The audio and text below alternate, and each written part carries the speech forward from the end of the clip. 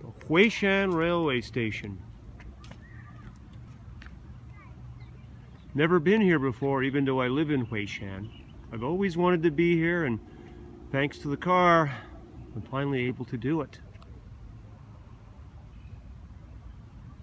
So far it seems like it's just a big white elephant.